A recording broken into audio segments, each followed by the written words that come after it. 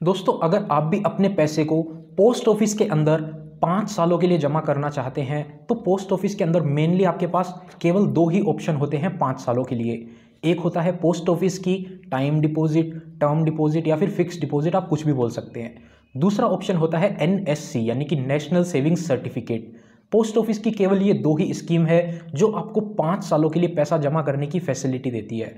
तो अगर आप भी पोस्ट ऑफ़िस के अंदर पाँच सालों के लिए पैसा जमा करवाना चाहते हैं तो इस वीडियो को एंड तक ज़रूर देखिएगा, क्योंकि आपको कंक्लूजन मिल जाएगा कि कौन सी स्कीम में आपको पैसा इन्वेस्ट करना चाहिए और कौन सी स्कीम से बचना चाहिए। नमस्कार दोस्तों, मेरा नाम है राकेश और आप देख रहे हैं बैंकिंग बाबा यूट्यूब चैनल। तो चलिए आज की इस वीडियो को शुरू करते हैं। तो इस वीडियो में हम बात करेंगे कुल ऐसे छः पॉइंट के बारे में जिनको कंपेयर करने के बाद अपन देखेंगे कि कौन सी स्कीम आपके लिए बेस्ट ऑप्शन हो सकती है। तो सबसे पहले ही बात कर लेते हैं इंटरेस्ट रेट की।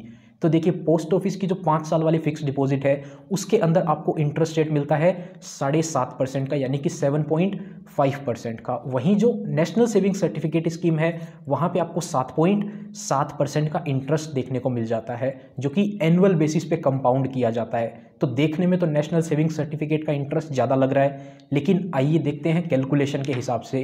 तो लेट से अगर आप एक लाख रुपए जमा करवाते हैं तो पहले साल का जो इंटरेस्ट बनेगा पोस्ट ऑफ़िस की फिक्स डिपॉजिट के अंदर वहाँ से बनेगा आपको सात हज़ार सात सौ चौदह रुपये वहीं अगर आप नेशनल सेविंग सर्टिफिकेट में पैसा जमा करवाते हैं तो पहले साल का इंटरेस्ट बनेगा सात हज़ार सात सौ रुपये तो देखिए कैसे पोस्ट ऑफ़िस की जो फिक्स डिपॉजिट है, कम इंटरेस्ट रेट होने के बाद भी वहाँ पे आपको ज़्यादा इंटरेस्ट मिल जाएगा क्योंकि यहाँ पे क्वार्टरली कंपाउंडिंग होती है, जिसको कि चक्रवर्ती ब्याज बोला जाता है।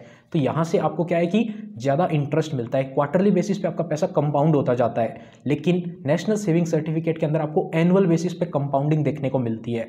पोस्ट ऑफ़िस की जो फिक्स डिपॉजिट है, वहाँ से जो भी इंटरेस्ट बनेगा हर साल का, वो पहले साल का इंटरेस्ट आपके सेविंग अकाउंट में ट्रांसफ़र कर दिया जाएगा।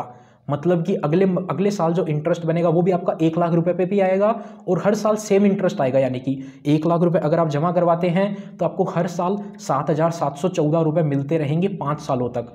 हर साल के एंड में आपका पैसा आपके सेविंग अकाउंट में ट्रांसफ़र कर दिया जाएगा और आप उस पैसे को निकाल के यूज़ कर सकते हैं। अगर आप नहीं निकालते हैं उस पैसे को सेविंग अकाउंट में पड़ा रहेगा, वहाँ पे आपको पोस्ट ऑफ़िस का जो सेविंग अकाउंट है उसका चार परसेंट का इंटरेस्ट देखने को मिलेगा। तो टोटल आपका पाँच सालों में एक लाख के ऊपर इंटरेस्ट बन जाएगा अड़तीस हज़ार पाँच सौ सत्तर रुपये thirty eight thousand five hundred seventy rupees एक लाख के ऊपर अपन ने एग्ज़ाम्पल देखा। वहीं अगर आप नेशनल सेविंग सर्टिफिकेट में पैसा जमा करते हैं, यहाँ से आपको इंटरेस्ट हर महीने, हर साल नहीं मिलता है। पाँच सालों की स्कीम है, स्टार्टिंग में पैसा जमा कराया तो पाँच सालों के बाद में ही आपको सारा पैसा एक साथ मिलेगा।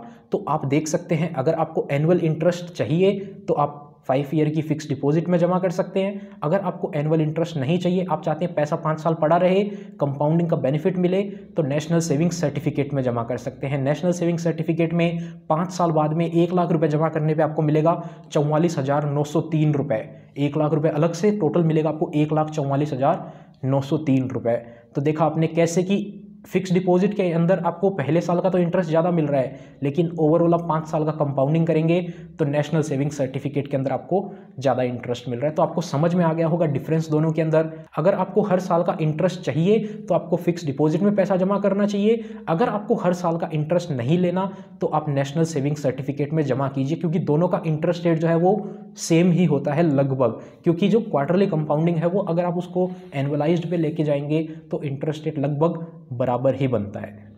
अब बात करते हैं दूसरे और तीसरे पॉइंट की, जो कि है टैक्स बेनिफिट और टीडीएस दोनों पॉइंट को एक साथ ही कवर कर लेते हैं। तो देखिए, दोनों ही स्कीम आपको सेक्शन 80 सी की डिडक्शन में एलिजिबल होती है।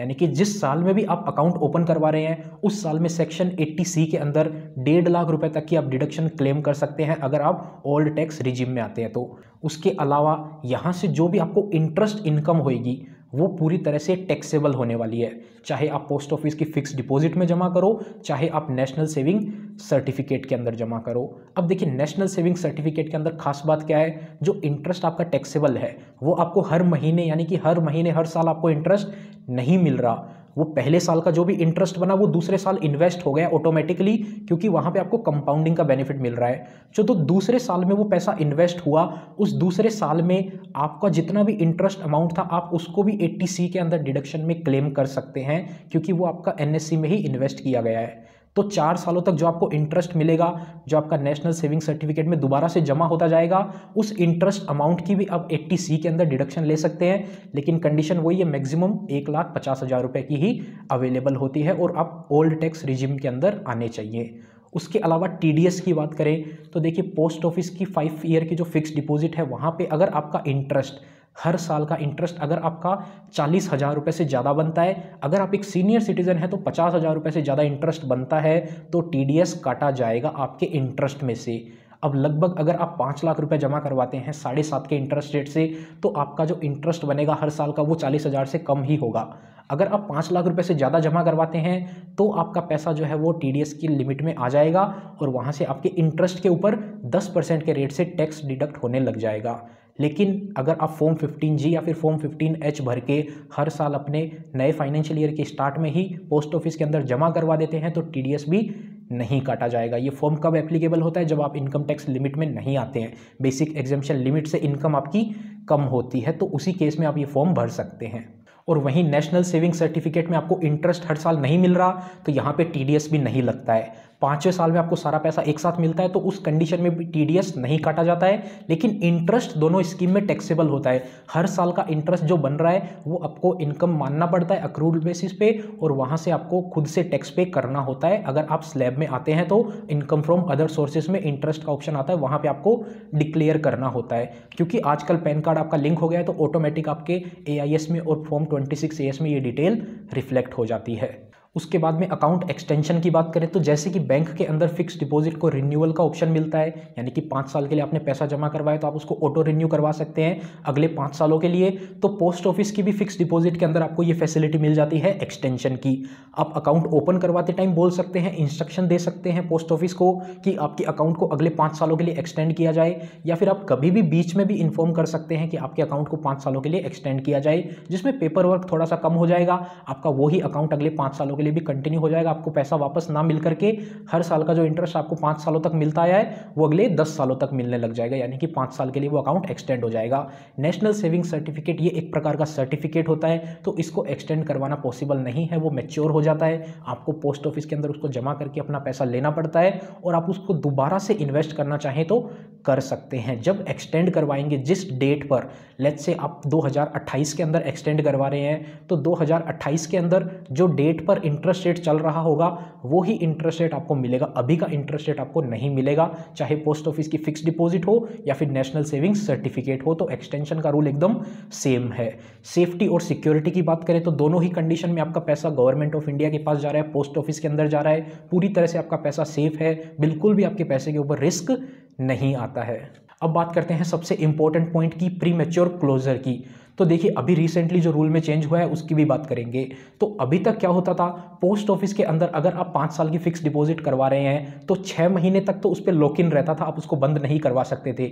उसके बाद में आप उस फिक्स डिपॉजिट को कभी भी बंद करवा सकते थे और आपको एक डेढ़ परसेंट की पेनल्टी लगती थी। वो पेनल्टी आपके कम हो जाती थी, उसके बाद में आप उसको कभी भी बंद करवा सकते थे ईजिली नेशनल सेविंग सर्टिफिकेट पाँच साल की स्कीम है, उसको आप पहले भी बंद नहीं करवा सकते थे, अभी भी बंद नहीं करवा सकते। आपने पाँच साल के लिए पैसा जमा करवा दिया तो पाँच साल का लॉक इन रहेगा उस अकाउंट पे।